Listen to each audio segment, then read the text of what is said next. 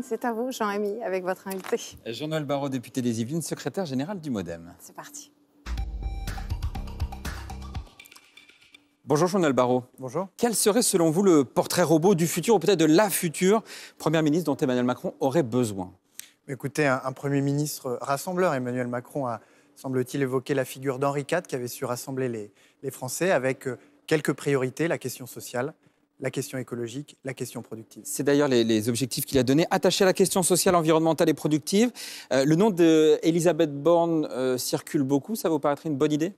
Écoutez, Elisabeth Borne a, réalisé un travail remarquable dans les différents ministères qu'elle a exercés, et plus particulièrement pendant la crise, avec le plan Un jeune, une solution c'est une décision qui appartient euh, au président de la République. Je suis une solution qui correspond à l'équation. Je suis dans son schéma. C'est ce qu'aurait dit euh, François Bayrou rapporté dans la presse.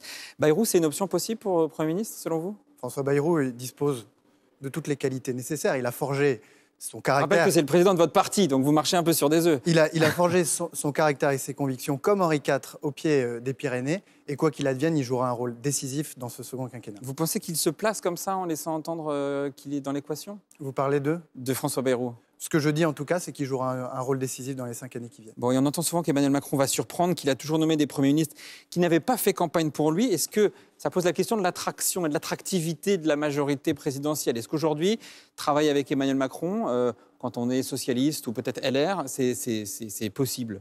Oui, je crois que c'est surtout le souci du président de la République depuis le premier jour de son premier quinquennat d'élargir de rassembler, de dépasser les clivages politiques d'antan et de faire en sorte qu'il soit rejoint par des figures de la droite, des figures de la gauche. Ça a été le cas pendant la campagne notamment. Vous avez l'impression qu'aujourd'hui, il est. Euh, je parlais du, pouvoir d'attractivité. Vous avez l'impression que les gens se, sont vraiment euh, motivés pour rejoindre Emmanuel Macron? Bah Écoutez, pendant la campagne, on a vu des grandes figures euh, de la droite, M. Estrosi, M. Wörth, mais aussi des grandes figures de la gauche, M. Rebsamen, M. Chevènement, le rejoindre. Je crois que c'est un mouvement qui n'a pas vocation à s'arrêter tout net. Sur le fond, Emmanuel Macron fait des promesses sur le climat. Ce quinquennat sera écologique ou ne sera pas, disait le candidat. Ça veut dire quoi? Je crois que c'est la, bataille numéro un que nous avons euh, à mener.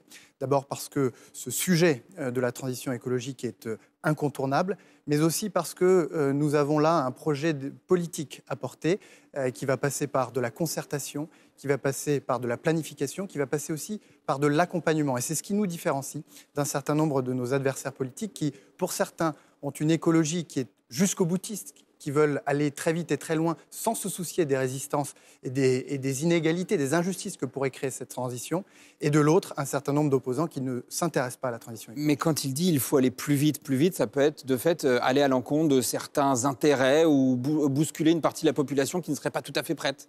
Non, précisément, il s'agit d'associer d'abord au diagnostic l'ensemble des Français pour que ce diagnostic soit partagé. Et ensuite de faire en sorte que lorsque vous avez des secteurs, lorsque vous avez des territoires, lorsque vous avez des Français qui vont être pénalisés par cette transition écologique indispensable, qu'ils puissent être tous accompagnés. Il fait 50 degrés en Inde, on a vu les inondations en Belgique, des incendies aux États-Unis. Euh, et pourtant, Emmanuel Macron, il s'est converti assez tard à cette question, dans cette, à la fois dans son premier quinquennat et dans sa campagne présidentielle. Est-ce que là, il n'est pas un peu à côté de la plaque? Quand, quand l'opposition dit qu'il n'a rien fait, etc. Vous savez, la, la France a fait baisser ses émissions de gaz à effet de serre sous les, le premier quinquennat d'Emmanuel Macron deux fois plus vite que sous les deux précédents quinquennats. Maintenant, l'objectif est clair. On est très loin des objectifs. Emmanuel Macron l'a dit, faire de la France la première nation à sortir de la dépendance aux énergies fossiles et c'est au programme de ce second quinquennat. La, planification, vous en parliez. Vous, vous avez travaillé sur le plan de relance dans les territoires. Et on sait que, par exemple, Emmanuel Macron a dit qu'il y aurait un, ministre en charge justement de la planification écologique des territoires. Ça voudrait dire quoi concrètement?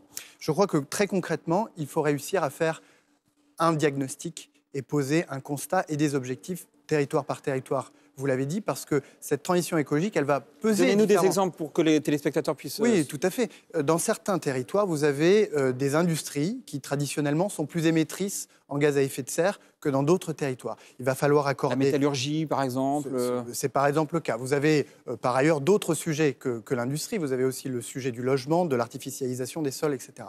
Et donc certains territoires vont être mis à contribution plus fortement que d'autres.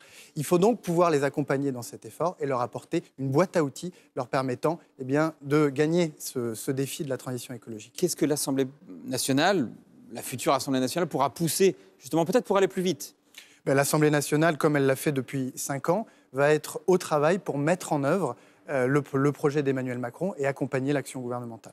Sachant que c'est pas juste, euh, en gros, parler aux électeurs de gauche. Là, je citais les exemples de, de- de- de la température en Inde, des inondations, des, des- des incendies. Enfin, il y, y a une vraie urgence. Oui, la transition écologique, elle est ni de gauche, ni de droite, ni du centre en réalité. Mais ce que nous proposons, nous, c'est un modèle différent, différent de celui de la gauche qui propose d'aller vite, mais sans se soucier effectivement euh, de celles et ceux qui pourraient pâtir d'une transition trop forte, trop, euh, trop accélérée. Et puis, à droite, vous avez une, une écologie du moindre effort qui euh, ne se donne aucune ambition pour le pays. Dans le projet d'Emmanuel Macron, il y a une promesse de changement de méthode. Euh, comment est-ce qu'aujourd'hui on croit à cette promesse quand on a vu qu'il ne l'avait pas vraiment appliquée euh, dans son premier quinquennat? Par exemple, sur la question de la Convention citoyenne, ça a laissé des traces sur, ces- sur- sur l'histoire de, la- de- de concerter la population. Au contraire, avec le grand débat national, avec la Convention euh, citoyenne pour le climat, qui était une des résultantes euh, du, du grand débat national, Emmanuel Macron a, a montré sa capacité à innover sur le champ démocratique en associant très largement. L'innovation est là, mais la, la concrétisation politique Il ensuite. il s'agit désormais, il l'a souhaité pour les grands chantiers qu'il veut ouvrir sur la santé et sur l'école, associer très largement les Français et toutes les parties prenantes de ces grands sujets pour la société française. Vous avez en tête, par exemple, une, une- une mesure qui est vraiment sortie du grand débat. Je ne parle pas des annonces politiques qui ont été faites ensuite, Mm. mais par exemple des cahiers de doléances. Bien sûr, à la suite du grand débat national, nous avons baissé l'impôt sur le revenu, qui était une attente très forte euh, des, des participants au grand débat national, de 5 milliards d'euros.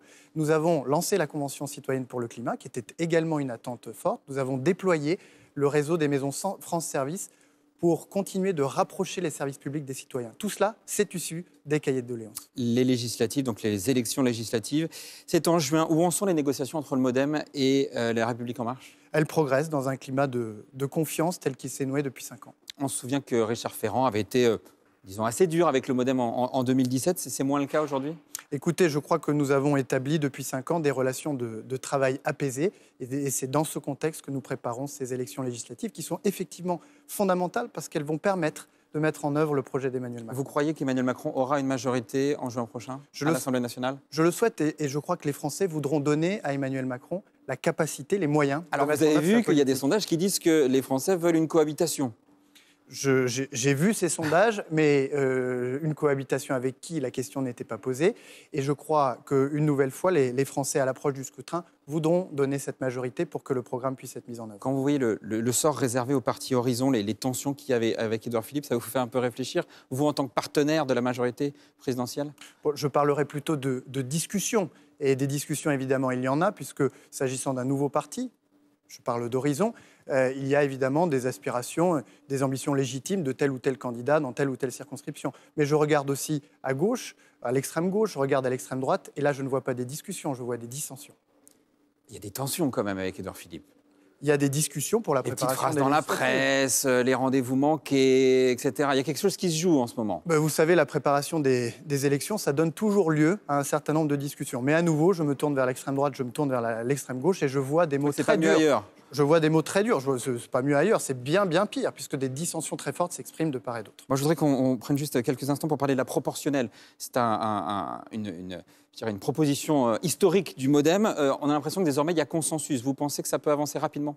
Je le souhaite en tout cas, euh, et je souhaite qu'à l'issue de ce deuxième quinquennat d'Emmanuel Macron, nous ayons avancé vers la À l'issue, donc ça veut dire que ce serait pour les, les législatives 2027, pas avant? En tout cas, bon, l'idée est d'apporter une vraie respiration démocratique, que chacun puisse se sentir représenté, et la proportionnelle donnerait un peu plus de poids, un peu plus de pouvoir au Parlement, ce que je souhaite vivement. Quelques secondes, on apprend que le Parti socialiste souscrit aux propositions de la, de- de- de la France insoumise. Vous pensez que le Parti socialiste se perd dans cette histoire? Je crois que le Parti socialiste n'est pas tout entier acquis à la cause de Jean-Luc Mélenchon, parce que j'ai entendu de grandes voix s'élever pour dire qu'une telle alliance était contre nature, Notamment François Hollande. notamment François Hollande. Et vous pensez que le Parti socialiste peut exploser?